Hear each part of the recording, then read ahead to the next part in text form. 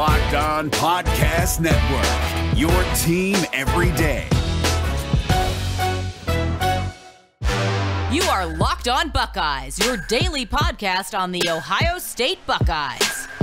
Part of the Locked On Podcast Network, your team every day.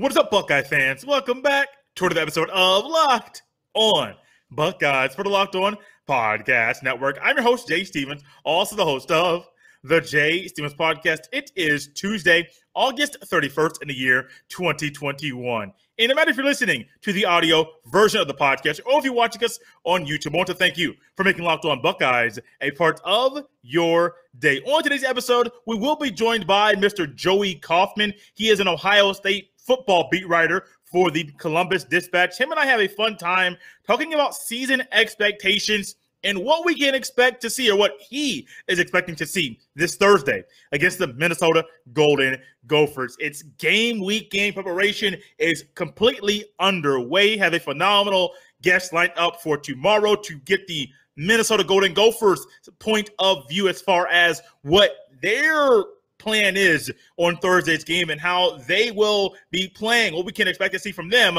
during the season opener. Today is all about Ohio State. Today it is Mr. Joey Kaufman.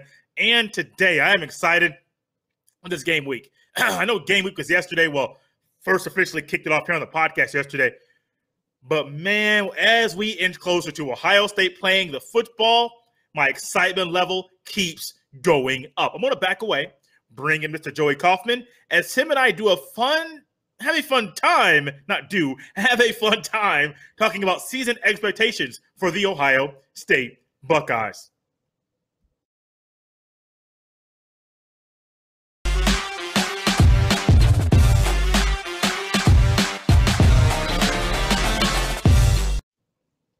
And joining us now here on Locked On Buckeyes. It is Joey Kaufman. He is an Ohio State football beat writer for the Columbus Dispatch. Joey, how you doing? I'm doing all right, Jay. How are you? I'm doing very well, very well. It's time for football, and I'm excited. I'm, I'm, sure you're excited as well that we're not talking about NIL. We're not talking about any of the other things that have gone on this offseason. We're talking about football games that will be played. What does that thought? What does it mean that we're finally getting football to talk about? What does that mean to you?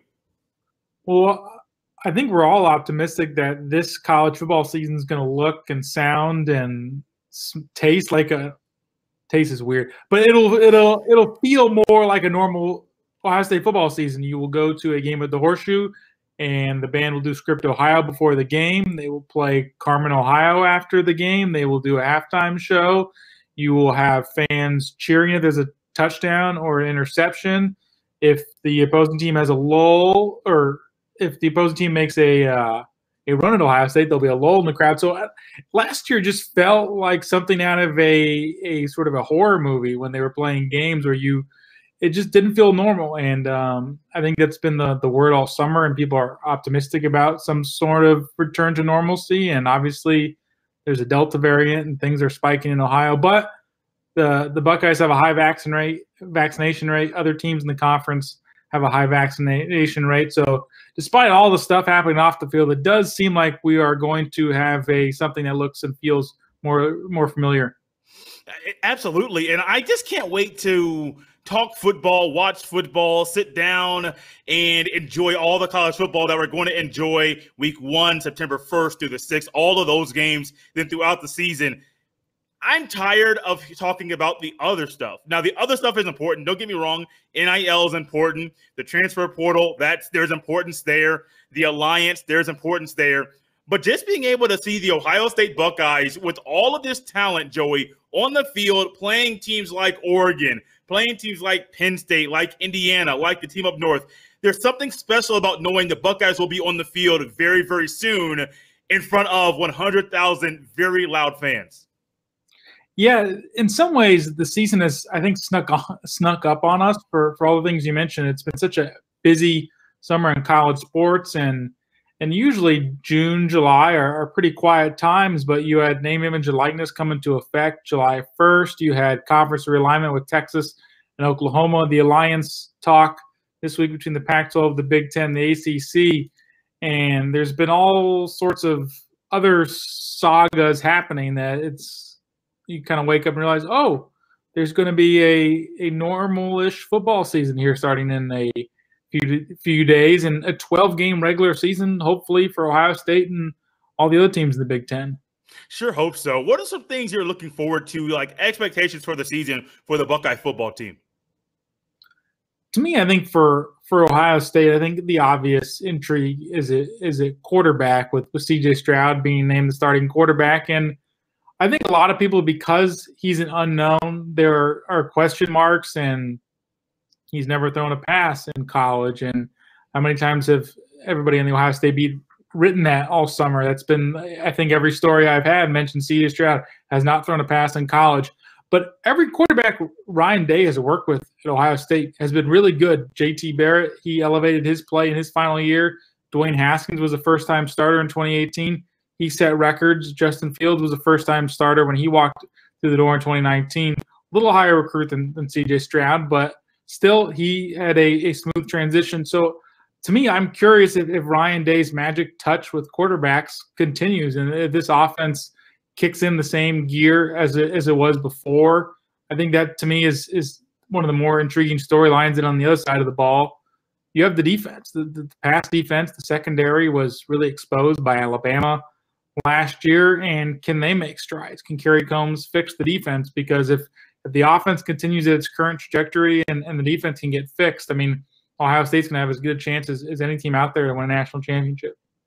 They definitely will. And the quarterback position specifically has been one that's been watched by yourself, by others on the beat, like myself, uh, or I have been watching it, and other people have just been watching the quarterback situation, quarterback competition, trying to see who had the upper hand.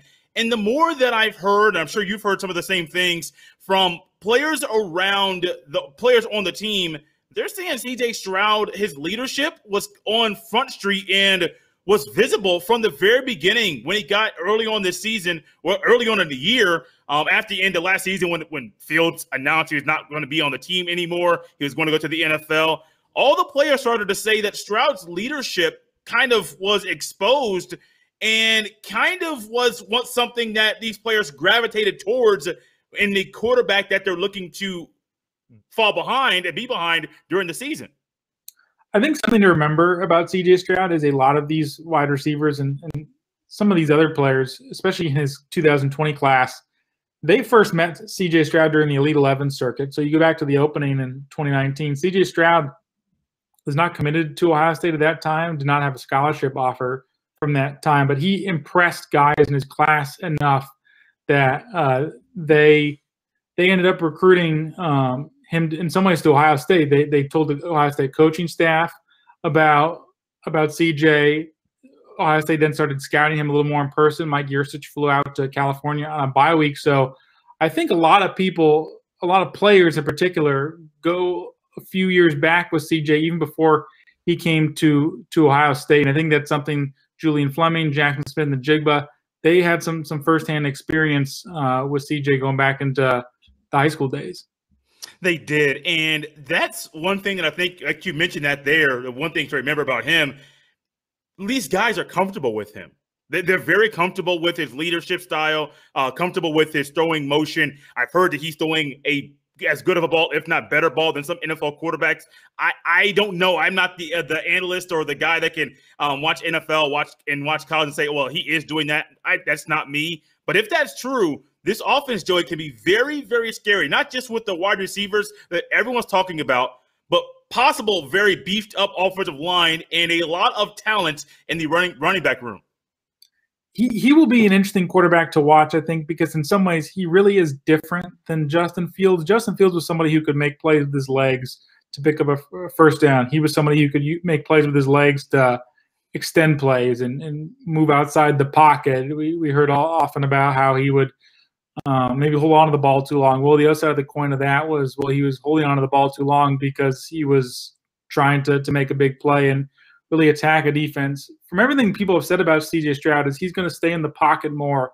And because they're so talented offensively between Chris Olave and Garrett Wilson, all those running backs, Jeremy Ruckert at tight end, he can be, I think, a little more of a point guard than they've had uh, than they have with Justin Fields, and and maybe dump off some shorter passes. So I think that's something with with Stroud. I'll be I'll be very curious to watch just how he plays the position versus how Fields play the position, and and what they what they let Justin Fields do. Good point. Good addition there. What about the defense? We talk a lot about the offense, but what about the defense that Ohio State has that with a lot of new faces, new guys at linebacker, new base defense, a lot of changes there. Coombs is now just running the defense, not playing D coordinator and DB coach, double duty there. What are some thoughts or expectations you have for the defense at Ohio State? It's an interesting defense because they lose their entire linebacker corpse and they're going to break in an entire new starting group there. But what we don't know is are they going to have three starters at linebacker or are they going to have two starters at linebacker and play more of a a four two five and and have that fit defensive back be more be more of a bullet. So a lot there are a lot of personnel questions about how we'll see the the defensive side of the ball line up and I think that's the one of the bigger questions for them going into the end of the year is can they, can they fix some of those issues defensively? And, and I think they're just going to need some players to to really play better than they played last year. Mm-hmm. They don't have a clear cut lockdown corner, a number one shutdown guy like they had in 2019, where you had Jeff Okudah and Damon, Arn- Damon Arnette on the outside. Those guys were two first round draft picks.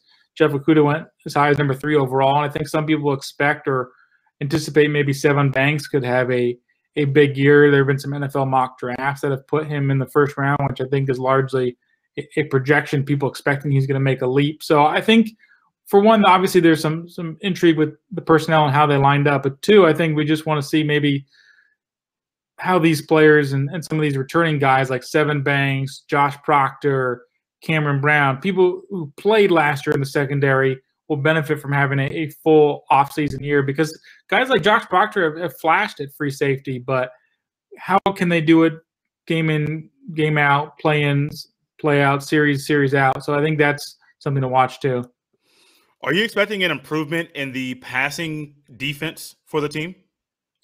I think you almost have to. I mean, they were they were pretty low last year in, in pass defense down in the, the FBS. And granted, that was skewed a little bit because they played eight games, and one of those happened to be against Alabama. Another one was against Clemson. So it's a little funky, but still, I think I do think they will be better. I think there's a good chance some of those guys I mentioned, like Sevyn Banks and Josh Proctor, make progress. I think they're also deeper, and I think they can rotate a little more. I think people like Ryan Watts could have a, a, bigger role. He's a bigger corner, I think about six three. So I think some of those guys who were who came in last year were freshmen and didn't have much of a chance to get a spring practice or a fall camp could work in the rotation and and play. I think they're definitely going to be deeper. I think I think that is something I probably would feel the most confident about. It seems like they have more options that they can rotate. They have more options for guys. If somebody's struggling, somebody gets hurt, they can they can plug in a guy. Because last year, I think even Cameron Brown was their slot corner. When he went down, you really felt his absence. There didn't seem to be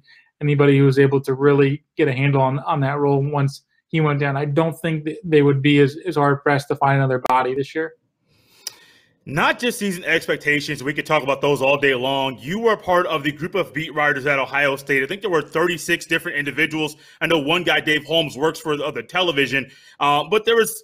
You guys had a fun job, fun time with your expectations. I'm going to run through these very quickly and then kind of discuss some of the things that you have predicted for the season.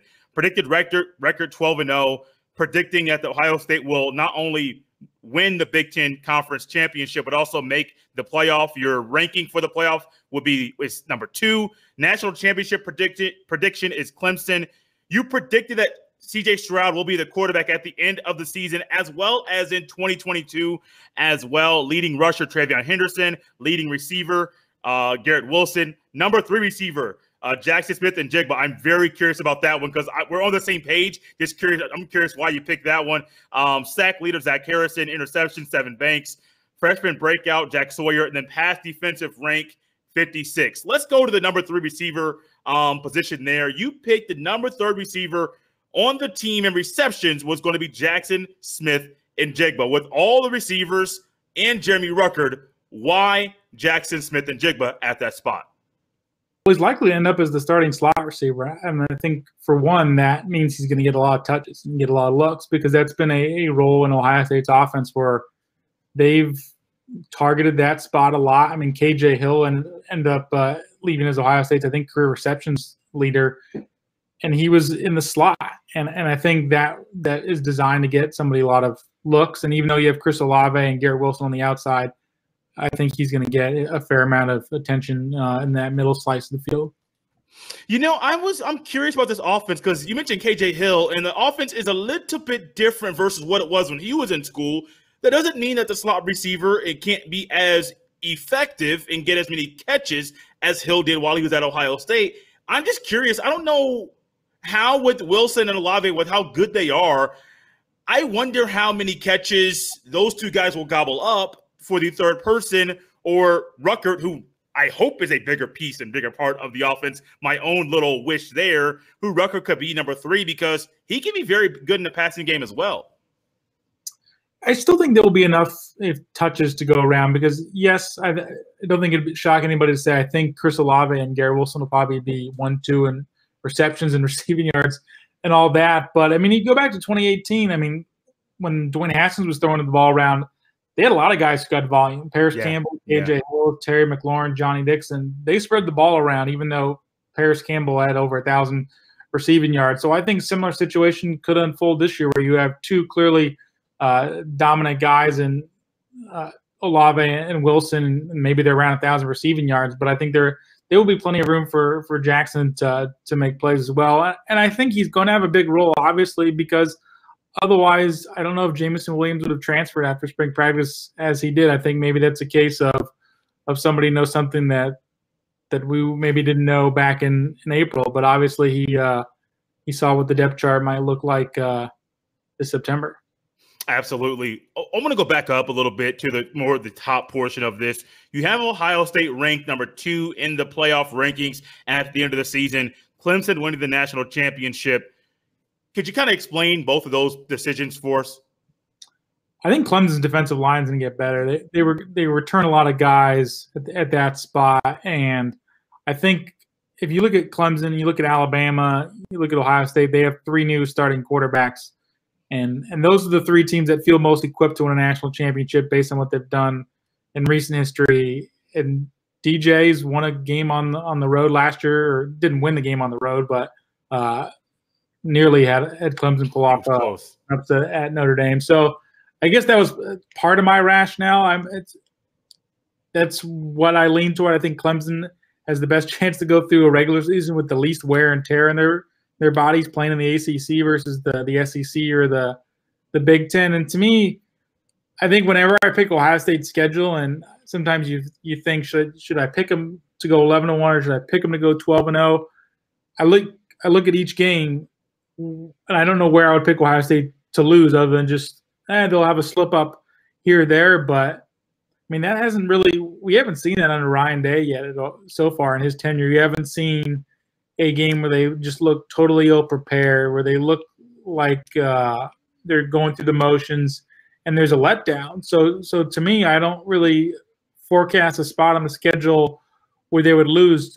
I did give thought to Oregon. That feels like a potential if they're going to lose a game, that feels like it's it because CJ Stroud will only have one starting uh, start under his belt, and I think Oregon's defensive line is going to test Ohio State and Kayvon Thibodeaux if is going to pose problems because if Ohio State goes with that starting offensive line combination where Dawand Jones is a right tackle, I think that could be something Oregon looks to exploit. But they don't have a returning starter quarterback. They and, and I think that's going to be an issue for Oregon. I think if you're going to come beat Ohio State and Columbus, you're going to need a, a big time quarterback to do it. The last team to do it was Oklahoma, led by Baker Mayfield back in, in 2017, last uh, time Ohio State lost in the horseshoe. So that to me, I think is the issue. I think you're going to need a quarterback to come in and actually outplay Ohio State. And you look at the games that Hayes lost in his tenure, Clemson in 2019, where they had Trevor Lawrence. Last year, Mac Jones against Alabama. And you look throughout Ohio State's schedule, I don't know where there's an elite quarterback they're going to face in the regular season. Is it maybe Michael Penix at Indiana? But I don't know. I think that's that's why I, I don't see them losing a regular season game. To the first game of the of the season, first game of the year in a couple days. This is going to be coming out on Tuesday. On Thursday, Ohio State's playing the Minnesota Golden Gophers, going to Minneapolis and getting their season started off on Fox. Uh, I'm excited for the game, excited to get the season started. What are some things, a couple things you're looking forward to seeing from the team on Thursday evening? I think I just want to see how they use their their personnel. I think there are still a lot of questions coming out of camp about who is maybe getting touches. I don't think there's a lot of question about whether Ohio State has answers at certain spots. I look at running back, for example. How do they distribute carry? You have Miyan Williams, who got a lot of reps in running back drills and was typically first in line in, in training camp. You have Master Teague, who's the incumbent starter. You have TreVeyon Henderson, who has high, high expectations. So not only who gets the first carry, but who do they really rely on in, in that game? I think a lot of questions about who the faces that we see. How often do they line up um, in a, in a 4-2-5 versus their typical 4-3 front? How much do they rotate in the secondary? I think a lot of those questions are, are going to be the interesting ones. Just how do they start to use the personnel that they have? I, I think Ohio State's going to going to be okay against Minnesota, but how do they put the pieces together? I think is is the intrigue for me. Do you have any concerns the concern I think would be Minnesota's experience and and just maybe the overall atmosphere. Ohio State hasn't played in a hostile environment since 2019, just because of of last year not playing games and fans. That game will likely end up being a sellout. So that'll be a little bit of a challenge for for them. I think. I think Minnesota's also experienced. They they return a lot of starters. They have a lot of super seniors. I think maybe only Illinois among among Big Ten teams has more super seniors because they brought back 20 guys, but at one point uh, the AP did a, a tally, and Minnesota had 10 super seniors, and they have a lot of returning experience. They'll have a returning starter at quarterback. So to me, that's not a game where Ohio State just goes and steamrolls somebody. I think Minnesota's too uh, competent all around uh, to just lay down. But but I still think Ohio State is more talented, and over four quarters, that should they should stretch away. Joey, this has been a lot of fun, a whole lot of fun talking football in the game that's going to be played in a couple days from now. If you could, let everybody know where they can catch you on Twitter and also where they can read your work as well. Well, you can follow me on Twitter at Joey R. Kaufman, J O E Y R Kaufman, K A U F M A N, and then go to Dispatch Sports, dispatch.com slash sports, or go to BuckeyeExtra.com, which is the Dispatch's hub for all things related to Ohio State football, Ohio State basketball, and Olympic sports. Guys, the first game of the season is a couple days from now, and I'm glad we could get Joey Kaufman on the podcast to talk about Ohio State and some expectations he has for the season. Joey, this has been a lot of fun. Thank you for coming on Locked On Buckeyes. I really appreciate it. Thank you for having me, Jay.